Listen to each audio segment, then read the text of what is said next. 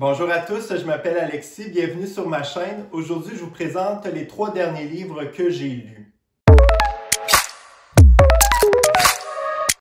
Commençons dès maintenant avec un livre qui n'a pas été un grand succès pour moi malheureusement. Il s'agit du livre The Half Sister de Sandy Jones. Dans ce thriller domestique, on retrouve les personnages de Kate et de Lauren qui sont sœurs et qui mènent une vie tout ce qu'il y a de plus normal jusqu'à ce que débarque Jess, qui prétend être leur demi-sœur. Lorraine va l'accueillir les bras ouverts, tandis que Kate va se méfier d'elle un peu.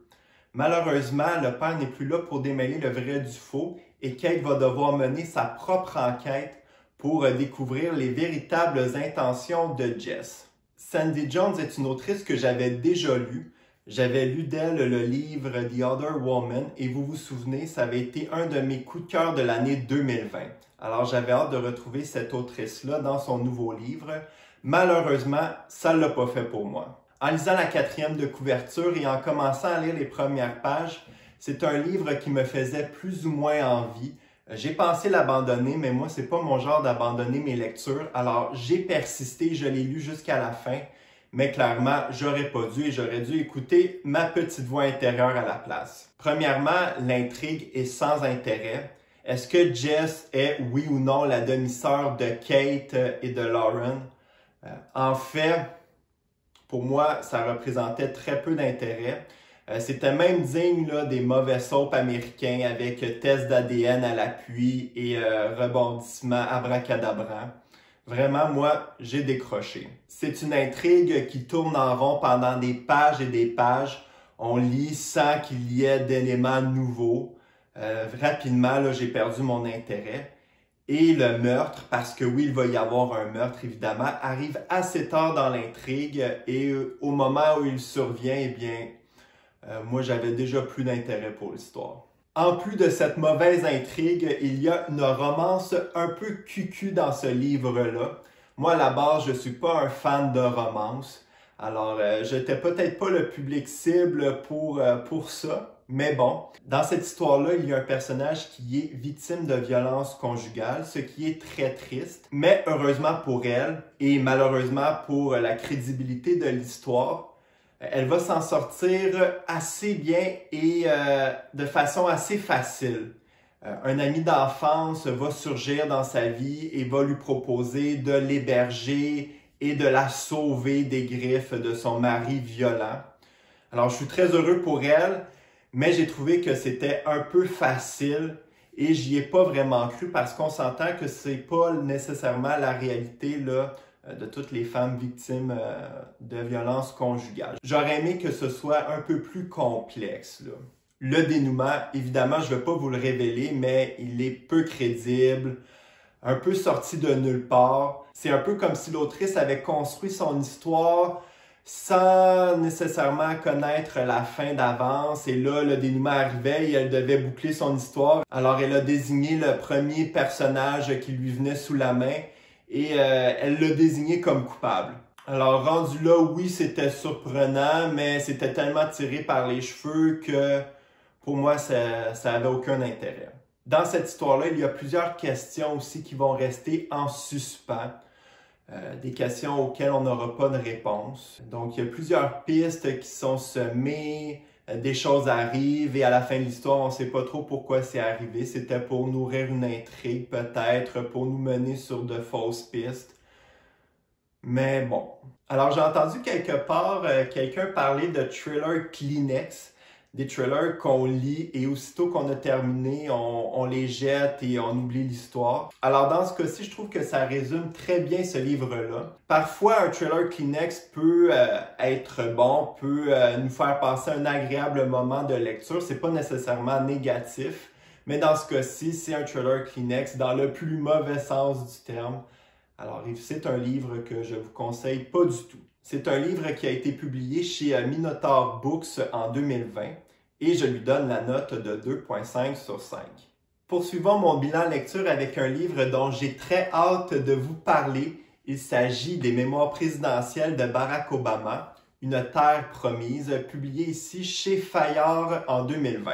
Dans le premier volume de ces Mémoires présidentielles, Barack Obama revient euh, sur son premier mandat à la Maison-Blanche. Il euh, parle des événements importants qui ont ponctué son mandat, par exemple la crise économique, le sauvetage des banques, euh, la réforme du système de santé, les guerres d'Irak et d'Afghanistan et l'assassinat d'Oussama Ben Laden. Premièrement, je veux dire que c'est magnifiquement écrit. Je crois que c'est Barack Obama lui-même qui a écrit ses mémoires. Habituellement, les politiciens font appel à ce qu'on appelle des écrivains fantômes, mais dans ce cas-ci, à moins que je me trompe, je crois que c'est vraiment Barack qui a écrit ses euh, mémoires. Je me permets de l'appeler Barack. Bon. Alors dans ce cas-ci, je pense oui que c'est Barack euh, qui a écrit ses euh, mémoires présidentielles et c'est superbement écrit en plus d'être un grand orateur, eh bien, c'est un grand écrivain. Il y a vraiment un souffle littéraire dans ce livre-là, ce qui en fait quelque chose d'exceptionnel à lire. C'est un récit qui alterne entre la vie privée et la vie politique de, de Barack Obama. Mais si c'est plus l'aspect privé de sa vie qui vous intéresse, eh bien, c'est peut-être pas un livre qui est pour vous. Euh, sa vie privée occupe peut-être un cinquième, un sixième du livre, mais on y parle surtout de politique. Barack Obama a vraiment le sens du récit et parvient à rendre super intéressant des sujets comme la crise économique ou les guerres euh, d'Irak et d'Afghanistan. Même si ce pas des sujets vers lesquels vous êtes porté habituellement, c'est écrit d'une telle façon que ça ne peut pas faire autrement que vous intéresser.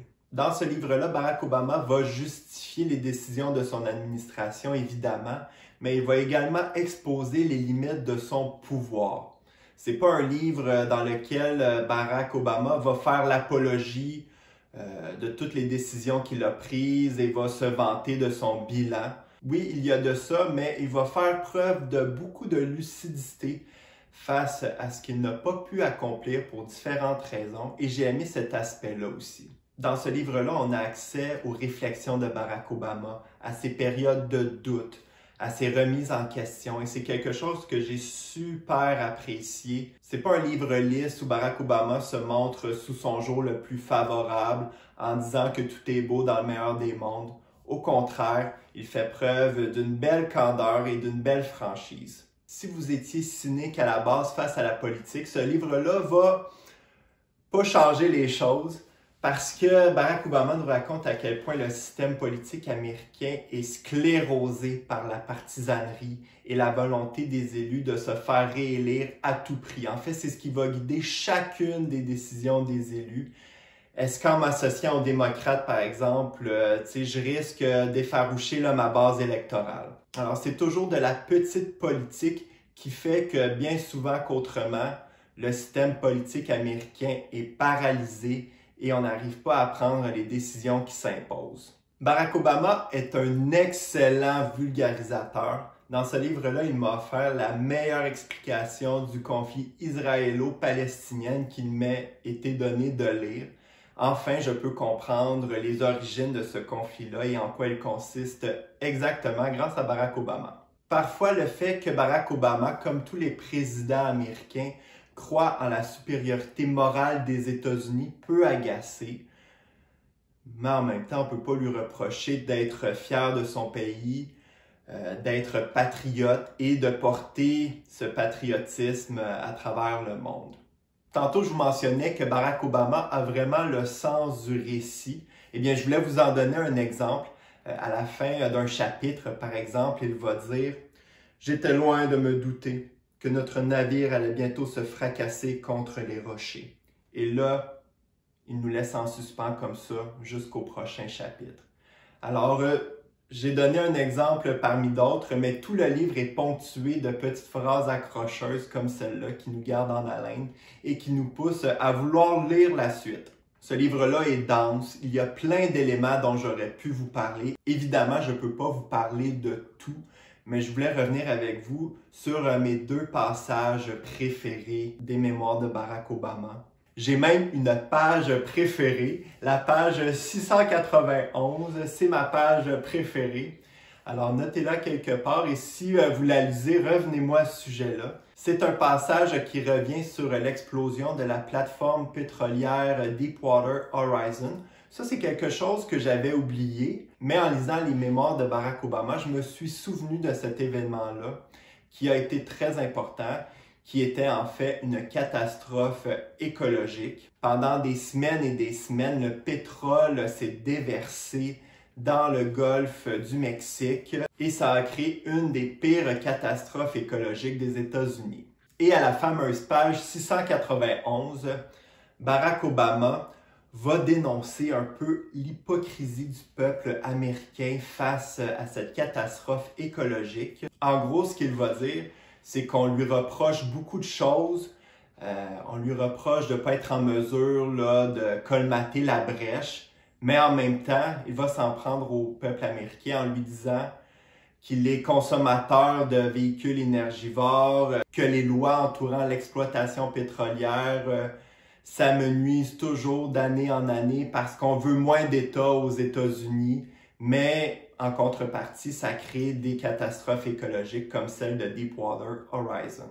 Vraiment, quand je disais tantôt qu'on avait accès aux réflexions et aux pensées de Barack Obama, eh bien ici, c'en est un exemple. C'est pas le genre de choses qu'il aurait dites à l'époque, mais maintenant, avec le recul, il se permet comme ça euh, un petit coup de gueule et euh, c'est bienvenu. Mon deuxième passage préféré, eh bien, c'est euh, à la toute fin.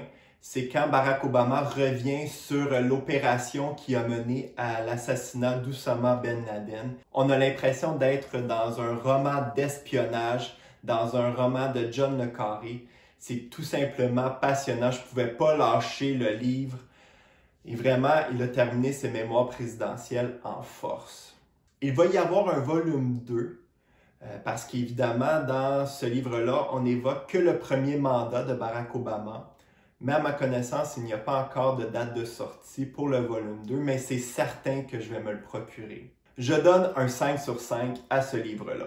Je termine maintenant mon bilan lecture en vous présentant un troisième livre.